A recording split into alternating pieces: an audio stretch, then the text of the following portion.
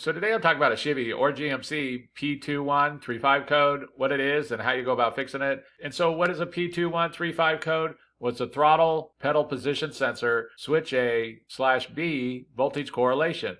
And what does this mean? Well, there's sensors located on the throttle body that track the throttle body plate inside of here as it opens and closes because when you step on the gas this is going to open up more and it's going to let in more air and there's a sensor on it that's tracking this and reporting this information back to the onboard computer and the onboard computer's seen a problem with this, so it's got to be troubleshooted to why. And quite commonly, when you get this code, the vehicle's going to go into limp mode. You might get something displayed on your dashboard saying reduce power or something along those lines. So that's very common. And so, what are going to be some possible causes? Well, the most common cause is going to be that it just has a bad throttle position sensor and it needs to be replaced. But it can also be in the wiring. It might be a bad throttle body. It might be a bad accelerator position sensor and possibly a bad PCM.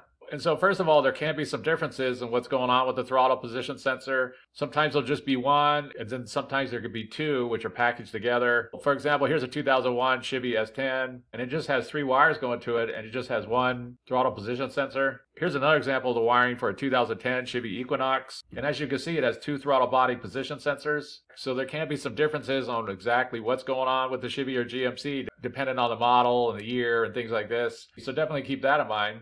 And so the first thing to do is to locate the throttle position sensor and then check out the wiring going to it. Because if anything's wrong with that wiring, as a bad connection, open, short, anything like this, then it's going to cause the same symptoms as a bad sensor. So you want to go check that out and be sure that looks good. If the wiring all looks good, then the next thing to do is to test that throttle position sensor. There's some different ways you go about doing this. I made a video on how you go about testing these throttle position sensors. If you want to check that out, I'll put a link down below in the description. But the next thing to do is either test or replace the throttle position sensors. And the throttle position sensor can usually be bought separately from the throttle body, or you can just buy a whole new throttle body altogether with the throttle position sensor already on it.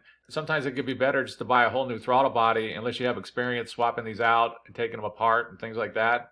But however you want to do it, the next thing to do is to test or replace that throttle position sensor. And one thing to mention is that when you do swap out that throttle position sensor or the throttle body, then there very likely is going to be a relearn procedure for the Chevy or GMC which basically just means that the onboard computer needs to make small adjustments so that the engine runs better. You can't Google your specific Chevy or GMC vehicle and find out what the exact relearn procedure is. But for example, a very common one would be that you start the engine and let it idle for three minutes, then you turn it off for 60 seconds, then you start it again and you let it idle again for three minutes, and then you turn it off for 60 seconds, and then you drive it over 45 miles an hour for like three minutes, and the onboard computer will have enough information to do small adjustments so that the engine runs properly. But again, you can't Google your specific vehicle. Quite often, you just need to drive the vehicle around, and the computer will learn on its own. But just keep in mind that if you do swap those out, then you might have a relearn procedure. And one thing to mention that can sometimes cause this code is that some Chevy and GMCs have what's called an accelerator position sensor that's usually located on the pedal. And if that goes bad, sometimes it can cause problems and you can get this code. So if you do go through and you test that throttle position sensor and it's testing good, you can't find no issues in the wiring or anything like that, then check to see if your specific Chevy or GMC has what's called an accelerator position sensor because if it goes bad, it can also cause issues sometimes. And so that's basically it. I just wanted to make a quick video on how you go about fixing a Chevy or GMC P2135 code. If you have anything to add, please comment down below. If you have any questions, ask me and I'll try to answer them. If this video helps you, please click like, please click subscribe, and have a good day.